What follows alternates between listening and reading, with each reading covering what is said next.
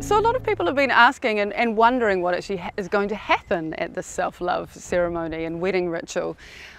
I'm not going to tell you. It's a slice of homemade evangelism. It's celebratory. It's quite wild. It's a piece of collaborative performance theatre. Everyone's encouraged to dress up. There's a really good stash of uh, wedding dresses out at Restore at the moment.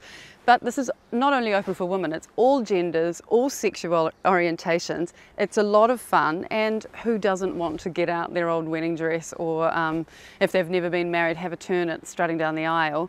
But more importantly, also, who doesn't want to get a sense of real self love? Um, it's a tough time on the planet now. We all face a lot of uncertainty, and Lord knows we need a little bit of celebration. Um, see you there.